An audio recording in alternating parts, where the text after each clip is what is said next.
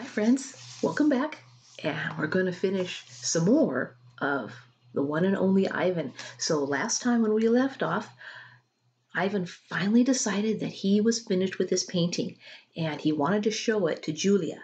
So, he pushed all the pieces through the crack in his cage, and Julia is slowly figuring out that what Ivan drew was a picture of Ruby in a zoo with a special word with it, too. The word was home. So let's see what happens next. Julia watches me. She chews on her thumbnail. I see the question in her eyes. She turns back to the paintings and stares at them, looking, truly looking. A slow smile dawns on Julia's face. Dad, she says, I have an idea, a big idea. Julia races around the edge of my painting, her arms wide. Billboard big. I'm not following you. I think this is meant to be up on the billboard. That's what Ivan wants. George crosses his arms over his chest. What Ivan wants he repeats slowly. And you know this because you two have been chatting? Because I'm an artist and he's an artist. Uh huh, says George. Julia clasps her hands together. Come on, Dad, I'm begging you. George shakes his head. No, I'm not doing that. No billboard, no way. I'll get the ladder, Julia says. You get the glue. I know it's dark out, but the billboard is lit. Mac'll fire me, Jules. Julia considers. Oh, but think of the publicity, Dad. Everybody would know about Ruby. You want me to put up a sign that shows Ruby in a zoo with the word home on it in giant letters? George gestures toward my pictures. A sign, incidentally, that just happens to have been made by a gorilla? Exactly. And you want me to do this without Mac's permission? George asks. Exactly. No, George says. No way. Julia goes to the edge of the ring, careful not to step on any of my paintings. She picks up Mac's claw stick. She walks back and hands it to her father. George runs a finger along the blade. She's just a baby, Dad. Don't you want to help her? But how would it help, Jules? Even if lots of people see Ivan's sign, it doesn't mean anything's going to change. Exactly sure yet. Julia shakes her head. Maybe people will see the sign and they'll know this isn't where Ruby belongs. Maybe they'll want to help too. George sighs. He looks at Ruby. She waves her trunk. It's a matter of principle, Dad. P R I N C I P a L. L E, George corrects. Dad, Julia says softly. What if Ruby ends up like Stella? George looks at me, at Ruby, at Julia. He drops the claw stick. The ladder, he says quietly, is in the storage locker. I watch Mac's car slam to a halt in a parking lot the next morning. He leaps out. He stares at the bill- billboard. His jaw is open. He doesn't move for a long time. You know, a mad gorilla is loud, but a mad human can be loud too. Especially when he is throwing chairs and turning over tables and breaking the cotton candy machine. Mac is kicking a trash can across the food court when the phone rings. He answers it, red faced and sweating. What the? he demands. He glares at me. I don't know what you're. He starts to say, but then he stops to listen. Who? Julia, who? he asks. Oh, sure, George's kid. She's the one who called you? More talking.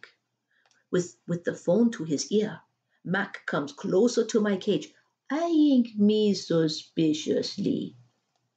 Yeah, yeah, he says. He paints, sure. We've been selling his art for quite a while now. There is another long pause. Yep, absolutely. It was my idea.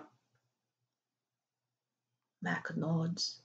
A smile starts at the corners of his mouth. Photos? No problem. You want to see him in action? Come on down, have a look. We're open 365 days a year. Can't miss us. We're right off I 95. Mac picks up the overturned trash can.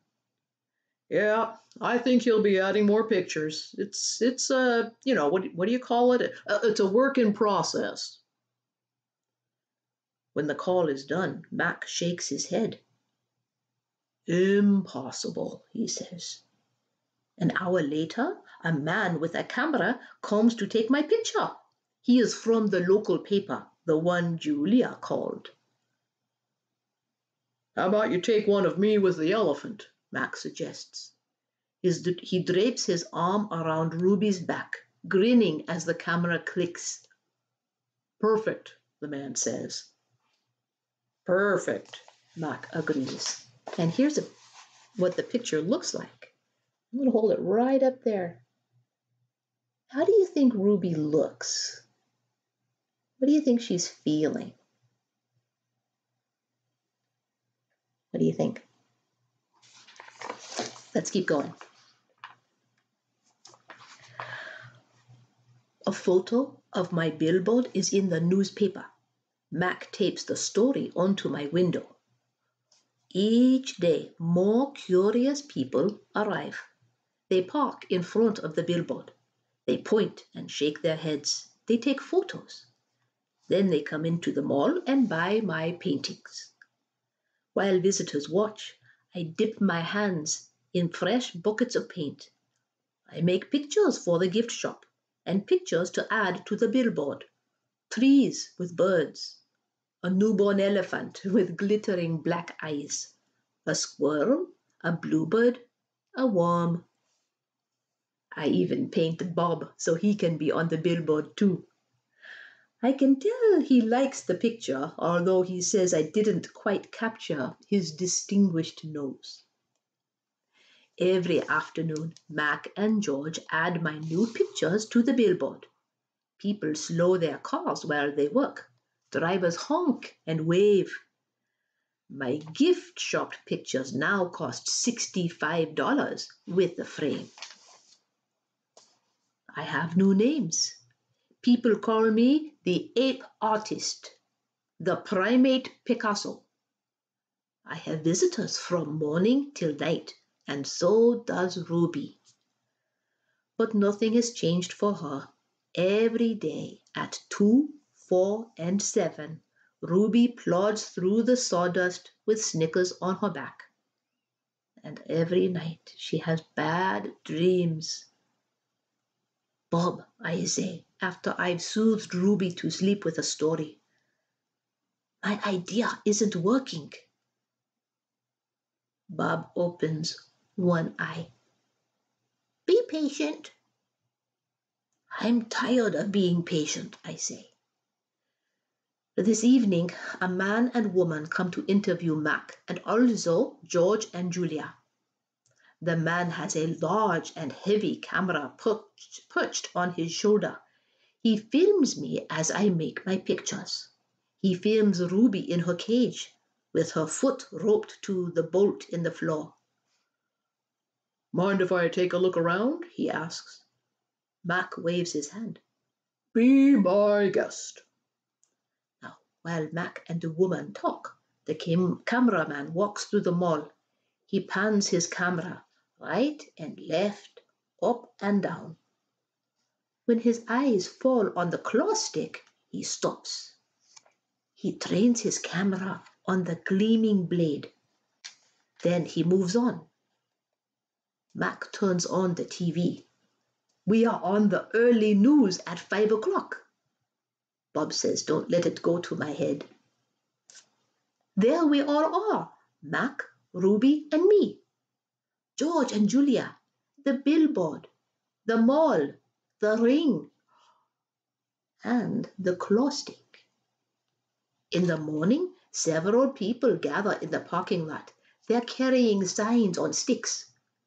The signs have words and pictures on them. One has a drawing of a gorilla cradling a baby elephant. Oh, I wish I could read. Now, more people with signs came today. They want Ruby to be free. Some of them even want Mac to shut down the mall. And here's a picture of the signs. There. I think you can read them.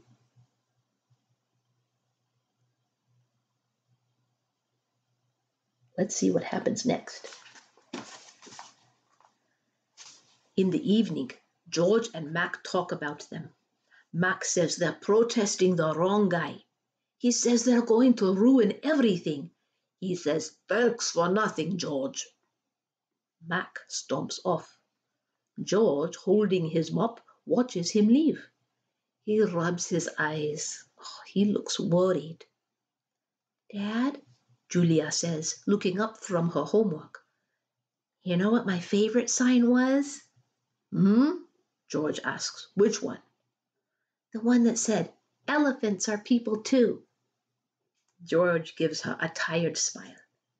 He goes back to work.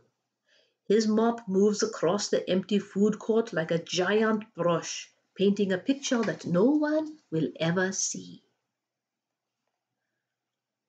And let's keep going a little bit more, just a little bit. A tall man with a clipboard and pencil comes to visit. He says he is here to inspect the property. He doesn't say much more, but he makes many check marks on his paper. He looks at my floor. Check. He examines Ruby's hay. Check. He eyes our water bowls. Check. Mac watches him, scowling. Bob is outside, hiding near the dumpster. He does not want to be a check mark. And that is where we will stop for this time. Thanks so much for listening, friends. We'll find out what happens with those protesters next time.